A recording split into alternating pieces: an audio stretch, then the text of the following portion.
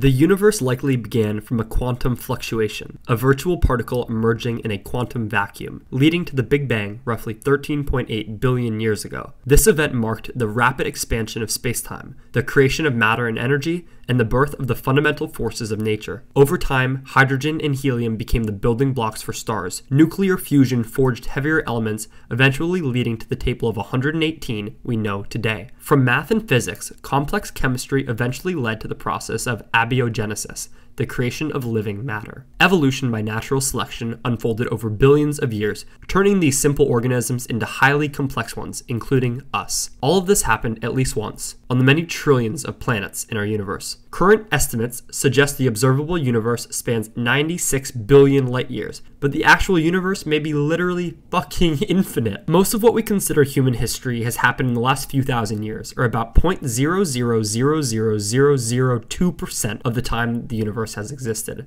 We fought wars, discovered and conquered continents, and invented science. It helped us create medicines and flying machines, but created some problems too. Today we are contending with the quite tangible consequences of climate change and mass replacement from robots. That brings us to today.